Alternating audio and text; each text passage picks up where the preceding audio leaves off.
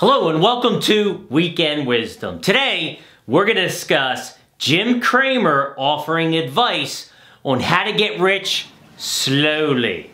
Now, I'm going to go over his numbers and show you, guess what? He is wrong, wrong, wrong, wrong, and the numbers just don't add up. Stay tuned, we'll discuss this and much more.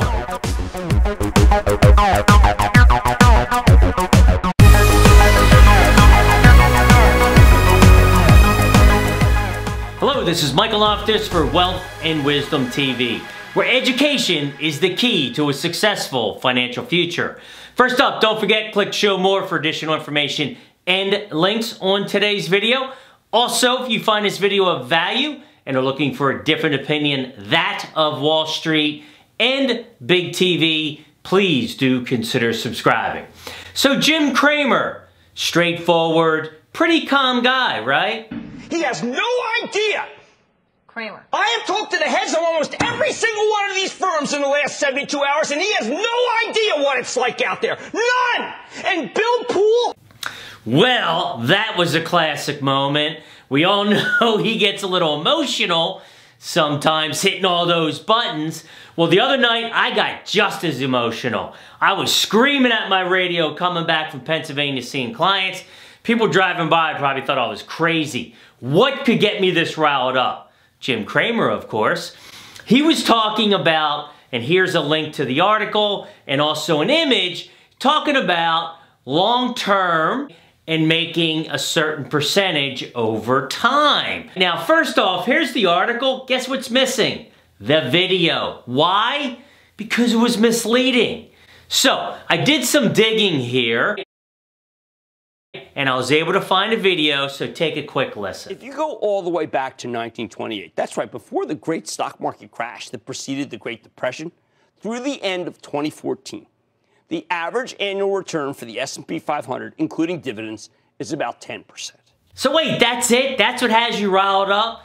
He's saying 1928 to 2014, you average 10% a year. So if you're going to retire, you start saving today, then you're going to have, in his case, 10000 You're going to have 450 It's actually $452,000, right? When you come time to retire. But he's wrong.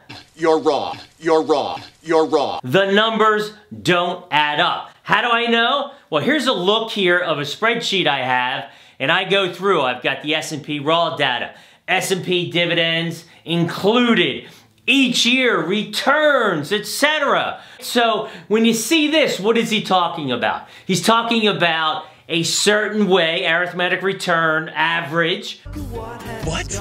Which is every year divided by, in this case, 90 is what I did, because I have the data through 2017. And it says, even better, you average 11.53%.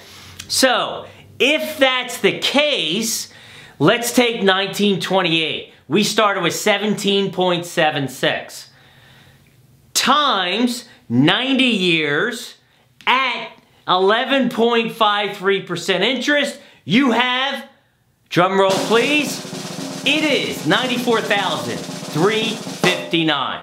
Wow. But wait, what was the S&P at yesterday's close, August 1? 2825 they're a little bit off. Now, why is that?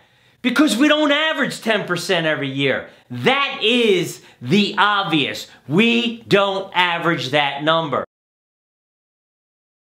And when you can look at this, okay, over time, now I'm gonna go back and I, obviously I've done the numbers, 2000 to 2000, let's say 14, when we were flat, 2.9% a year.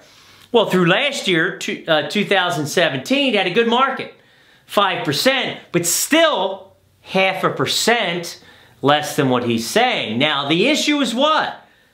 These losses. You have to factor in these losses. It doesn't work. Because one of his quotes is, this logic can be applied to those in different age group. Here's the problem in retirement, and our clients or are either preparing for retirement are in retirement. One, they don't have 40 years. Okay, 20 to 25 is normal. So in that time frame, if you look at these downturns, that makes a huge impact.